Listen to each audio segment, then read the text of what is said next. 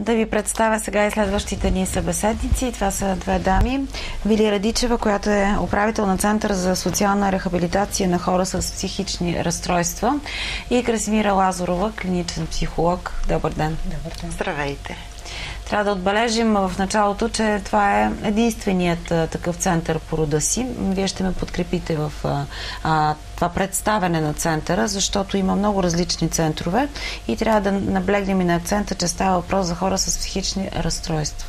Точно така. Ние сме единствени за Южна България като такъв център, който, чиято целева група са главно хора, навършили 18 годишна възраст и имащи психични разстройства.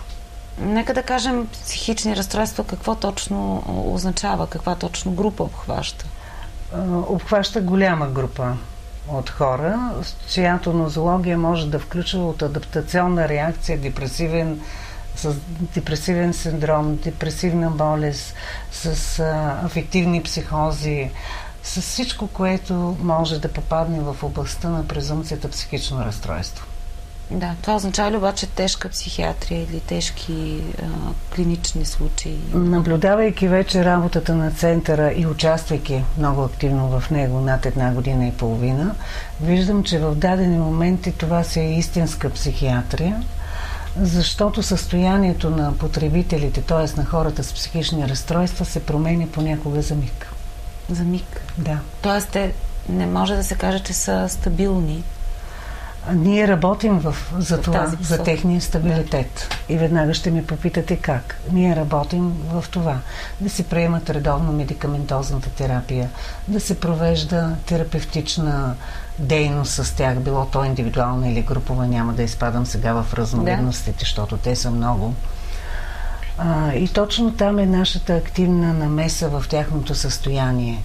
А, но и все пак, и все пак, понякога кризата идва изведнъж. Да, ще се върнем и на тази тема. Да. Но сега да попитаме управителя Вили Радичева, а, как се организира работата на един такъв център? Успявате ли да а, поемете м- необходими хората, които имат нужда а, да го посещават? За съжаление, капацитета на нашия център е 35 човека.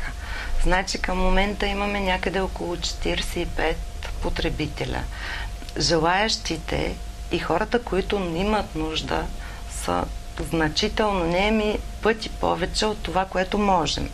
Но а, с базата, с която разполагаме, ние нямаме тази възможност да обхванем всички нуждаещи се. Хубавото е, че при нас услугата е почасова. Тоест, всеки, който желая да ползва услугите на психолог, на социален работник, имаме двама социални работника, а, услугите на медицинско лице, психиатър идва в центъра, макар и като външна услуга, може да дойде и да сподели тревогите или пък потребностите, които има в защита на своето психично здраве. Сам ли определя времето за престоя си в този център? Абсолютно демократично и сам. Центъра е дневен. Работи от 9.30 до 5 часа. Непрекъснато сме там. Така че хубавото е, че и хората, които имат потребности, а и много самотни хора с психични проблеми, намират една много радушна, почти близка до семейната среда при нас, където могат ако искат час, ако искат цял ден, да останат, да споделят своите тревоги с персонала, а и с хора близки по сродна съдба. А онези, които нямат място, не могат да попаднат там? Как? Има ли някакъв а, а, срок за престой на, на тези ваши потребители, които вече са включени? Ще ви отговоря. При нас има два вида така наречена услуга.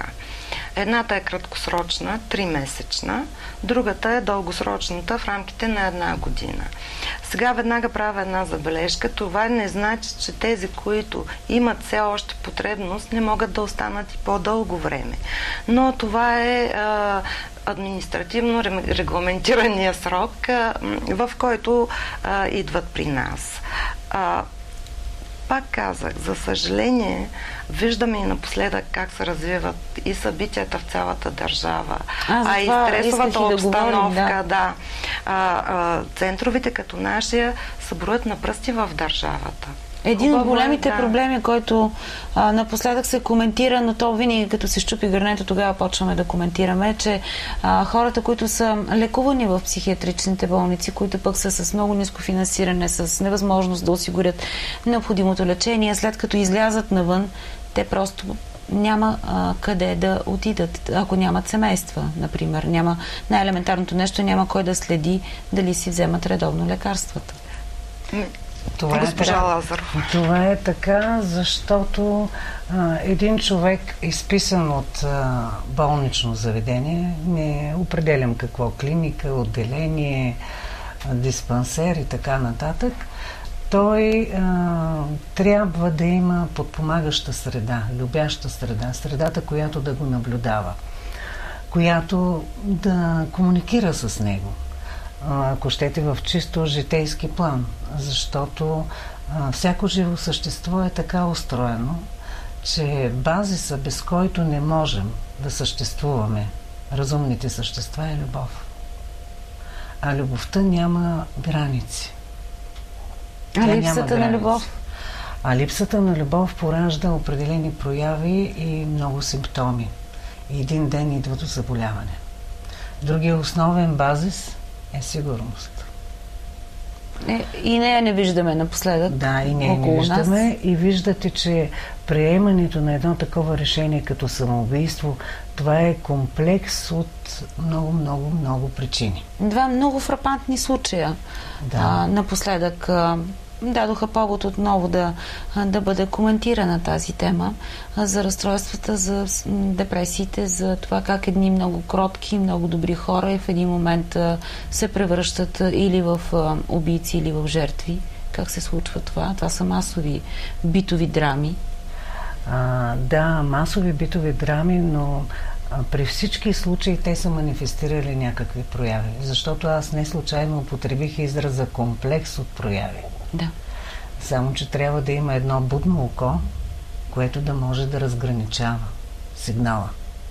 Било то в професионалната среда, сред колеги, сред съжители, сред съседи, сред приятелски И оказва кръг. се, че няма от тези случаи, които гледахме. И от а, убийство, четворното убийство и самоубийство в Пловдив, и в София петорното, и преди това още няколко Оказва се, че и индивидуалните самоубийства също доста зачастяват. Така, човек предприема тази крачка не е случайно.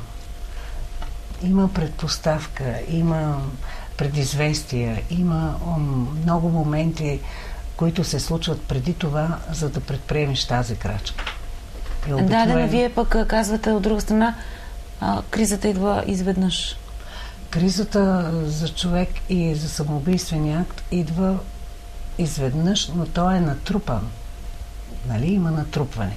Няма сега никой а, човек, ако всичко му е наред, относително казано всичко, изведнъж да предприеме тази мярка. Виждате, че се манифестират в общественото пространство предсмъртни писма, намеци, изречения, прехвърляне на емоти, това са все действия, които са много стабилни сигнали, че нещо ще се случи. Освен това, виждате, че семействата не са комуникирали с останалите. Водили един за, е, живот. Затворен. Затворен живот, да, затворен живот. И какво става зад вратата, никой от съседите не знае. На вид отвън, приветливи, добър ден, довиждане. Колко ли още такива семейства има? И въобще хора? Сигурно много. Какви са вашите потребители? Нашите потребители, повече от една трета от тях са самотници. Абсолютно самотници. Те нямат никакви свои сродници и роднини на този свят. А това са млади хора в творческа възраст и ако те не разполагат Аз си мислех, че говорите за възрастни хора. Не, за възрастни имам предвид над 18 години. Над 18 години. Да, понятието на българския законодател възрастен включва над 18 години. И това са, казвате, самотни хора? Да, това са самотни хора. Родителите са починали, те не са се омъжили или оженили и си живеят Приятелска самотни. среда? Нямат. Знаете ли, аз сега от една година и половина наблюдавам, че а, наши, нашите хора, т.е. хората с психично разстройство, един голям процент, нямат доверителен контакт. Те се страхуват. Тоест и... не, нямат способност, изгубили са способността да, да споделят ли и, и, да, да се, и, да, и да се доверяват, да. да. да. Последиците от това? Последиците от това м- са много страшни. Ако ние не направим а, още поне няколко центъра в нашия град, такива с специалисти, които са дълго време обучавани, професионалисти и умеещи да разграничават всяка една нозология, т.е. всяка една болест. Нали? А към вас имат ли доверие? Още как печелят доверието? Вие как печелите тяхното доверие? Трябват ни няколко месеца да го изградим. Не си мислете, че в момента, в който те решат да ползват нашите услуги, това не е ли всъщност първата добра крачка, че те решават, че имат нужда от помощ? А, крачката извървява трудно. Точно това искам да ви кажа. Никъде никой а, не знае и не се съобразява, може би, с това, но ние няколко мотивации, няколко разговора, след това и управителката каза, че ние имаме консултант, психиатър, експерт, един от най-опитните в града. Нека значи, да го кажем кой е. Казва се доктор Радка Челебова. Да, определен. А, и трябва 3, 4, 5, 6, 7 срещи, за да се реши човека да почне да подпълва документи. И въпреки, че е попълнил, след това много пъти те проявяват съмнение. Какво има в тези документи? И съмнение. И съмнение. Значи това са хора, които са не това само са, доверие, те просто Това са хора, които над 23-4 да, години са живяли в състояние на да. Какво е стигмата? Стигмата е затваряне и бариерно общуване и недопущане до различни нива на общуване, до различни институции. Те си живеят своя си живот твърде изолирани. Можете ли кратко да кажете как се стига до това? Пак да, да, покажа, да кажете факторите, които водят до, до подобно състояние. До състояние на стигма. На стигма, да. да. Или на депресия, или на разстройство. Въобще на разстройство. Ами, обикновено човек, когато има несигурност, било то с намирането на работа, било то с а, осигуряването на средства за един нормален живот. Нормален е много условно казано, да. нека така да приемем това понятие – да няма средства за препитание, да няма средства да осигури нужните помагала на детето си, да чака средства от различни институции, от специализирани телкови в продължение на няколко месеца, също е сериозна предпоставка. Да има неразбирателство в семейството, също много сериозно. Да вижда, че той през ланите му изплува деня и той го изпуща. И той понякога не е участник в тия събития, е просто наблюдател. И постепенно той се изолира. Ако щете наблюдател от голямото, голямата ни общност, наречена общество, много често те не участват в вземането на решения, в процесите в обществото. Много често те не знаят правата си. Нашата роля е не само терапевтична и социални услуги, Нашата роля е да ги овластим чрез знание за правата си.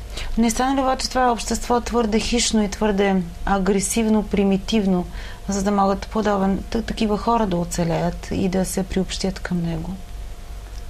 Ами както те самите ни хора с психични разстройства казват, вие сте ни повече от дома, в който отключваме и заключваме вечер. Ние разчитаме на вас и добре, че ви срещнахме. Да. Защото вие не давате основание да продължим. Вие не давате надежда, че имаме права, например, по ели кои си закони, да получим това, че можем да се явим на специализиран тел, че какви документи, че как можем да си изпишем медикаментозната терапия, че как като не сме доволни от един лекар, можем да го сменим и да отидем на друг. Кога става това?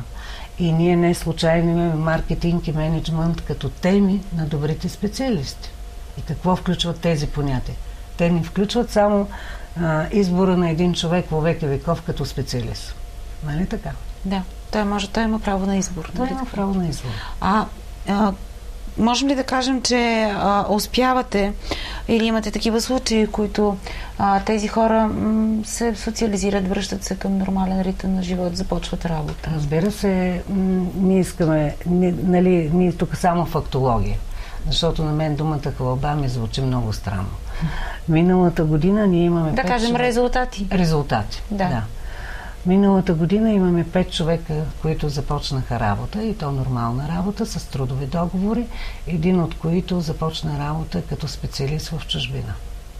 След така доста умерена депресия. Умерена депресия да. означава не просто леко разстройство, не, не.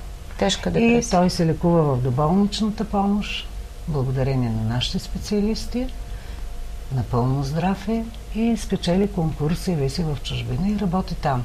И преди коледните празници той дойде да ни посети, защото беше в отпуск. Няма нищо по-хубаво. Значи вие си имате формула за, за успеха в такъв случай. Ние си имаме стратегия. Стратегия е да. още по-сериозно, казвам. Сериозно. Да, още да. по-сериозно. Това, което искам да покажем на зрителите е нещо много, не, много важно, наръчник на социалния работник.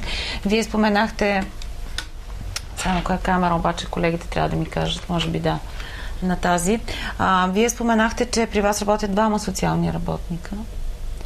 Да. Каква е тяхната роля? Две, две млади, току-що завършили а, образованието си момичета, които а, се постараха да обединят своите знания и вече опит, защото 4 месеца от как са при нас и под ръководството на госпожа Лазарова и доктор Челегова да направят нещо, което е абсолютно необходимо, се оказа.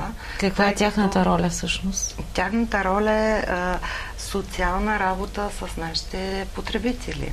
А, те а, имат грижа там да ги информират за техните социални права, да, ги подпомагат в техните социални простъпки за едно или друго нещо от това общество. А, имат ролята а, да ги наблюдават също, което не е маловажно, и да алармират своевременно преките е, специалисти по психологичните проблеми. Тоест, те трябва да разчитат и знаците за съответните. Абсолютно. Не случайно. А защо е толкова важен този наръчник? Казахте нещо Ето. много важно, ще, ще ви покажа. Не, много важно. Ще видите, той започва с видовите психиатрични разстройства. Да, т.е. те са обучени. А обучени са да ги разпознават. Да ги разпознават. А, разбира се, нашите социални работници са обучени и да провеждат социални консултации, както индивидуални, така и в групов формат. Да, това също е Груповия важно. формат е много важен. Той тренира социалните умения. Те са толкова много.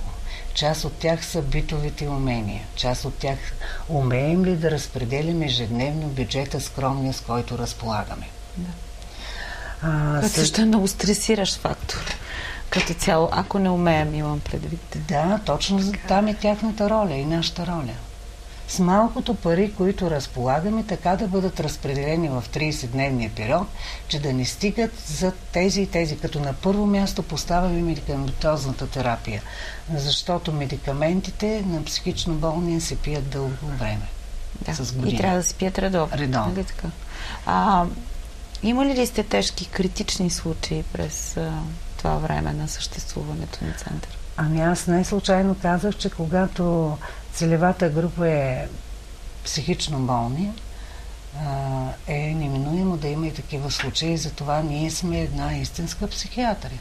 Така както се работи в психиатрията, по същия начин, разбира се, с допълнителни още умения, рехабилитационни програми, психорехабилитационни, се работи и в общността. Там се вземат всякакви мерки. Включително и, а, и екстрени, да, при, да. да. Всичко трябва да е, да е обмислено, да е обезопасено. Обезопасено, да е приятно. Значи сте имали такива критични ситуации, да разбирам. Имали сме, да. да. Имали сте, как се справяте? Кой първи реагира и, и кой трябва всъщност да реагира първи? Ние реагираме винаги професионално. В такъв момент да. трябва да човек да запазва спокойствие и да реагира съгласно своите професионални умения и опит да се намеса, че всеки един от персонала е минал инструктаж, непрекъснато се напомня защото не е ясно кой в даден момент ще бъде в прак достъп с лицето, което в момента изживява криза. Но ако ми позволи госпожа Лазарова една малка забележка, нека не страскаме обществеността, че ние сме на психиатрия, нали така? Да. Нямаме нищо общо с една психиатрична клиника. Да, хората все още продължават да се стряскат за съжаление. Да. А, а, за съжаление и културата на българина е твърде ниска към едно разбиране и едно някакси а, нормално, да нормално отношение към психичните заболявания. А, смята се за нещо, което е страшно или пък дори и срамно. В крайна сметка психичното заболяване е като всяко друго заболяване. Нали? Никой не го е, няма притеснение да каже, че е болен от грип, но има голямото притеснение да каже, да, аз имам психичен проблем и посещавам а, даден център или дадено а, заведение медицинско във връзка с това. Ние не приличаме по нищо на заведение за хора с психични Да, ние сме правили репортажи, така да, че да, а, сме виждали, да, да, тя е съвсем дружелюбна и приятелска установка, творческа, съвсем творческа, приятна. да, приятна да, установка. Да. А, това, което ми се иска само да ви питам във връзка с пак с актуалните събития, а, които се случват напоследък, а, предвиждате ли още подобни такива случаи? Има ли рискове от подобни такива трагедии? Аз по отношение на това, което се случва около нас, мога само да апелирам да бъдем по-будни и по-внимателни да разкодираме сигналите, които ни дават нашите съседи и хората, с които живеем и приятелите, ако щете и ни приятелите.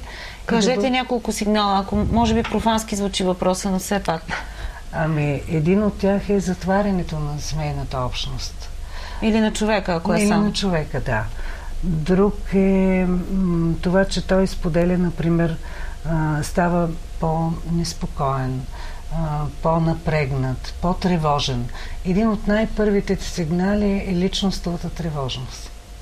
Добре. В каквито искате варианти. И ако я дадем по-голям шанс, има твърде голяма вероятност да се превърне в депресия. Въпросът е, че много малко хора умеят да разпознават тези знаци. Това е проблемът, нали? Ами за това сте вие медиите и ние да провеждаме по-често тези срещи, за да разкодираме Често да ви кажа, понякога се чувстваме и ние като медии виновни, защото може би ние по един или друг начин провокираме такава тревожност или а, неспокойствие, личността, несигурност. Е, за това е филтъра на семейството. Значи да. аз ще превъртя този канал, който ми доставя по-голямо удоволствие, който ми храни душата, а не да стоя на телевизия, която излъчва непрекъснато убийства и други. Или кадри с насилие, да. Напоследък, насилие, на които се нагледах да. последните да. няколко дни които също могат да отключат да, според да. Смятате ли, че тези а, стотици пъти, които бяха излъчени, Раз... говоря за случая в НДК и Доган. някои хора с по-нисък прак на въздържание, нали знаете? Може да отключат подобно подражание, да кажем. Да. Добре, кажете сега нещо хубаво за хубав ден. Как а, хората да преодолеят личната си тревожност днес? Ами както ние завършваме обикновено груповите си формати, винаги имаме водещ, който е специалист и ко-водещ, който е човек страдащ от психично разстройство. Като акцента на приятността в останалата част на деня се пада на човека с психиатрично разстройство. И аз съм много силно впечатлена от това, което те пожелават на нас, себеподобните. Например, те казват Любовта е дълго търпелива, любовта е прощаваща, любовта е готова на всякакви рискове, тя е безгранична. И ако ние приемем това, че любовта наистина не можем всички измерения на любовта сега с вас тук да ги споделим. Затова обичайте се. И а, друго, което те казват, ние силно вярваме, че човек, а, който се усмихва, той 30-40% е добър човек. По-често се усмихвайте и пеете. Българина ни пее в последно време. Той не се усмихва изобщо. Ами Камо пее ли? Да пее? пее ли? Или само Камо ли да пее, да. Пеете. Добре, така да завършим този разговор. Благодаря ви за това, че бяхте наши гости. Вили Радичева, управител на Центъра за социална рехабилитация на хора с психични разстройства, пак подчертавам, че е Център за социална рехабилитация и Красимира Лазарова, която е клиничен психолог. Благодаря ви за, за участието и ще продължаваме да бъдем, надявам се, ваши партньори в вашата работа. И аз искрено се надявам. На вас Благодаря ви. много разчитаме. Благодаря ви, желая ви приятен ден. Пожеланието вече го чухте от Краси Лазарова, така че следвайте, ако можете, поне се усмихвайте днес. До утре до 9.